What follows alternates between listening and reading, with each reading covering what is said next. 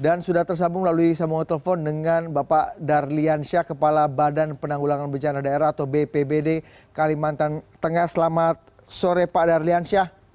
Selamat sore mas. Pak Darli, boleh diceritakan kepada kami, diupdate informasinya sudah sejauh mana penanganannya dan apakah dari 140 titik panas sudah mulai berkurang atau semakin bertambah, Pak? Jadi untuk hari ini titik panas sebanyak 145 hotspot gitu ya. Hmm. Tetapi sebenarnya tidak semuanya signifikan menyebabkan kejadian kebakaran hutan dan lahan. Hmm dan sekarang seluruh uh, personil yang terkait polri tni kemudian tpi kemudian bbbd kemudian relawan relawan ini hmm. bergerak di pemadaman pemadaman dini di lokasi lokasi yang sudah terbakar begitu mas ya. dan ada beberapa titik yang memang kita akui katakanlah seperti di dadahub gitu ya itu ada 186 hektar itu sana dipulkan juga personel personilnya hmm. kemudian juga ada di mentaya di daerah kota timur itu sekitar 450 hektar juga hmm. tim kita bermalam di sana jadi ada paduan antara satgas darat bergerak ke titik-titik kebakaran dibantu juga oleh satgas udara dengan menggunakan helikopter untuk pemadamannya. Iya. Berapa personel Pak Darlian Syah yang kemudian digerakkan untuk memadamkan di lebih dari 140 titik itu dan tantangan dan hambatannya apa sih Pak di lapangan Pak yang mungkin bisa digambarkan kepada kami? Tantangan hambatannya karena memang luasan hutan ya baik mineral dan non mineral di Kalteng itu kan sangat luas Pak ya sehingga Satgas Darat itu kesulitan untuk mencapai uh, titik kejadian kebakarannya. Kemudian juga ada kendala sulitnya uh, memperoleh air untuk pemadam untuk memadamkan api gitu ya.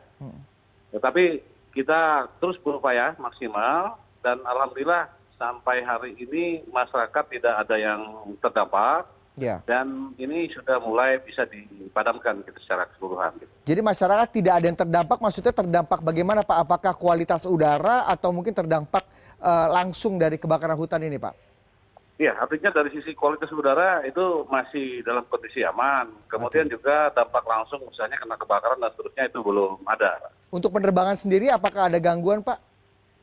Penerbangan kita masih semuanya masih dalam kondisi normal. Masih artinya normal, ya, sekolah tidak diliburkan penerbangan itu masih aktif gitu pak. Kemudian aktivitas aktivitas masyarakat secara ekonomi dan sosial itu masih berjalan secara biasa aja Baik, Pak Daliansyah mungkin masyarakat juga ingin tahu sebenarnya dari investigasi atau mungkin uh, apa namanya pengetahuan dari pihak uh, Provinsi Kalimantan Tengah sendiri terutama BPBD-nya apa sih Pak yang menjadi penyebab utama kebakaran ini dia ada di 145 titik tadi meskipun ada yang besar ada juga yang kecil kata Pak Daliansyah. Jadi yang 145 itu bukan berarti hotspot itu kebakaran semua. Ya okay. hotspot itu kan artinya tingkat kepanasan gitu hmm. ya jadi kalau yang terjadi kebakaran itu di beberapa titik yang tadi sudah saya sampaikan misalnya hmm. di kapuas gitu ya itu di dahu kemudian di kota kabupaten kota waringin timur itu di hmm. apa namanya mentaya hilir kemudian di kabupaten pulang pisau itu di sepangau kuala hmm. kemudian surian hilir itu di kabupaten surian gitu ya kemudian itu penyebabnya apa di, tuh pak darliansyah penyebabnya memang saya kembali lagi artinya kelalaian masyarakat gitu ya. Artinya mereka memang mungkin ya tidak memahami bahwa uh, di Kalteng ini tidak ada toleransi okay. untuk membakar hutan. Jadi mungkin ada yang coba-coba. Jadi saya anggap itu lalai lah gitu ya. Okay. tapi ini hari ini uh, Kapolda sangat tegas bahwa akan me, apa namanya menindak Eh, tanpa toleransi kalau ada masyarakat ataupun perusahaan membakar dengan sengaja begitu mas. Baik. Yang terakhir Pak Daliansyah, uh, apa nih Pak rencana dalam satu dua hari ke depan untuk terus menekan apa namanya luasan dari eh, titik-titik panas atau mungkin titik-titik api yang ada di Kalimantan Tengah sendiri sehingga tidak semakin meluas Pak dampaknya? Yang pertama kami mengaktifkan seluruh posko di kabupaten kota termasuk pos pos lapangan sampai ke kecamatan.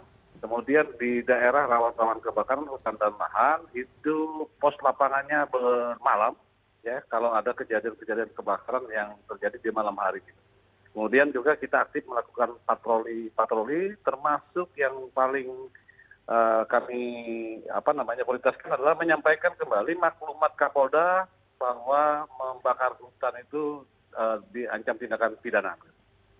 Oke, apakah butuh bantuan Pak dari pemerintah pusat misalnya atau dari luar daerah? Apakah Kalimantan Tengah sendiri masih cukup bisa uh, apa namanya mengatasi masalah ini hingga saat ini Pak? Saya pikir kalau Kalimantan Tengah masih cukup. Paling Baik. yang minta bantuan mungkin nanti untuk uh, apa namanya pemadaman udara. Biasanya kita dibantu dengan BNPB uh, helikopter helikopter waterbombing begitu ya. Kita Baik. sekarang ada lima helikopter waterbombing, tapi dua masih kita pinjam sementara di Kalimantan Barat. Gitu. Jadi tiga yang efektif operasional.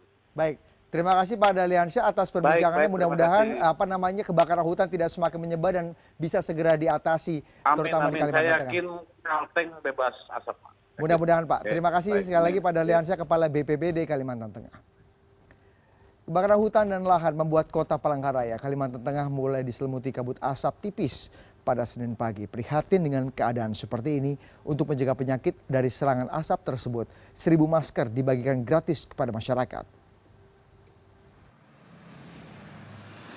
Asap tipis menyelimuti kota Palangkaraya Senin pagi.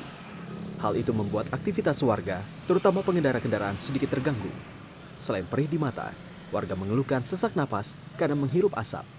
Guna mengurangi dampak kabut asap bagi kesehatan warga, beberapa relawan membagikan ribuan masker gratis kepada pengendara. Dalam waktu hampir dua jam, sebanyak seribu buah masker habis dibagi-bagikan kepada pengguna jalan. Ya, mulai kabut asap makanya pernapasan ini kurang sehat, kurang ringan, kurang nyaman. Nah, apa yang dirasakan saat ini Pak? Pada yang kita rasakan ini batuk, uh -huh. kena flu, uh -huh. terus dada ini agak sesak. Gitu ya? Ya. Uh -huh. Koordinator aksi pembagian masker gratis, Heru Hidayat mengungkapkan pembagian masker ini sebagai bentuk kepedulian sosial kepada warga. Memberikan kewaspadaan antisipasi pada masyarakat dengan cara pembagian masker. Dan kami mengajak semua elemen saat ini kita harus waspada terhadap kebakaran karena kita tidak ingin kembali mengalami hal yang lebih sangat sulit dan memprihatinkan itu pada tahun 2015 kemarin. Warga berharap kepada pemerintah daerah mampu menanggulangi kebakaran hutan dan lahan. Samsudin Nur, Palangkaraya.